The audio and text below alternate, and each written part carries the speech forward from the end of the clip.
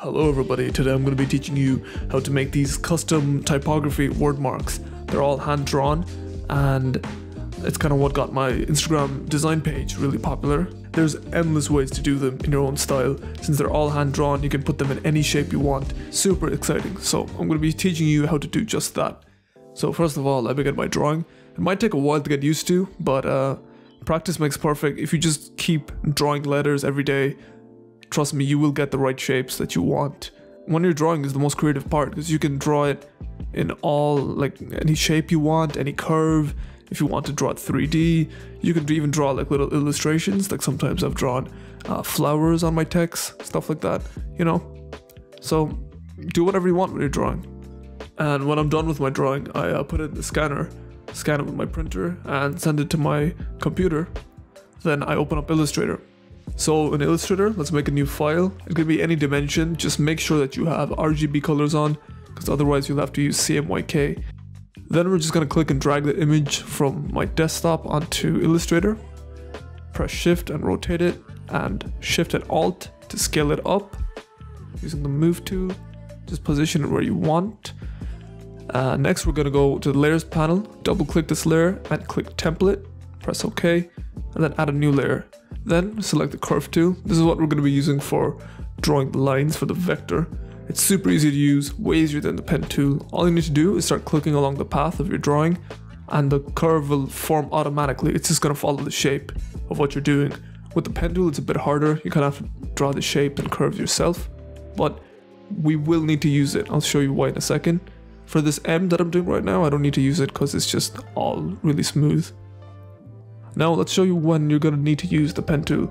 So for really sharp curves, like really sharp turns like this, we can switch over to the pen tool, click on the anchor point, click and drag to make a curve, and continue doing that. If you want to reset, you can click the anchor point again, click and drag, make the curve.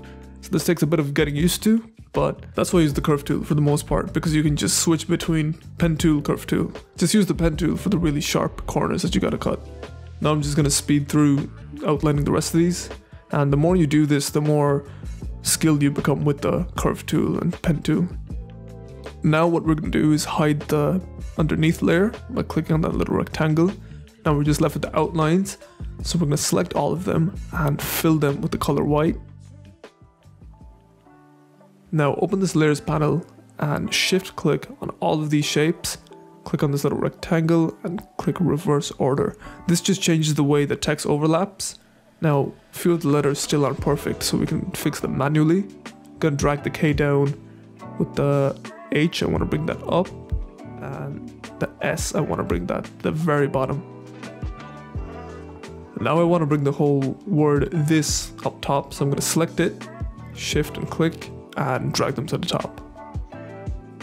Uh, now we're just going to use the move tool to shift the text around and make it more structured because the sketch is not always very perfect because it's it has human error stuff, you know? Now I'm just going to press Ctrl R to bring up some guidelines. Just left click and drag from the top of the screen and it'll pull up these guidelines. We're going to use these to structure our text. So you can select the whole text, you can rotate it, and you can drag it up and down. You can also change the curves if you select the text and then press the curve tool, it'll let you move the curves individually. Okay, so you can see this still isn't looking very perfect, it's looking a bit rough because we haven't smoothed it out yet. If you find the smooth tool here, super useful, it cleans everything out. All you need to do is select your text and you can click the text, you can left click it, or you can left click and drag left clicking the text just automatically smooths out the text. And I don't think that's that good, especially when you want some like precision and control. I usually just left click and drag to smooth out the individual lines. And this tool is really useful because it means that your line work doesn't have to be that good. It doesn't have to be that smooth or professional because at the end you can just use the smooth tool to clean it all up. Now I'm just going to rearrange it a little bit and select a color like dark green or something. Then I'm going to go to effect, stylize, and find the drop shadow option. These are my uh, drop shadow settings. Just turn the blur down and the opacity up. And there you have it. You have this kind of comic book look. This is just the bubble text that I usually do, but there's endless possibilities because once you can draw something and convert that into a digital thing where it's all smooth and clean and a vector, then the possibilities are endless with what you can do for logos, word marks, typography, you know? So I, I hope you enjoyed. Check out my Instagram page if you want any inspiration. And uh, yeah, thanks for watching. If you feel like you learned something today, please subscribe. If you don't think you learned anything, then uh, feel free to leave a hate comment. You know, give me a piece of your mind. Say some hurtful things. I'd, I'd love to. I'd love to read those. Thank you and goodbye.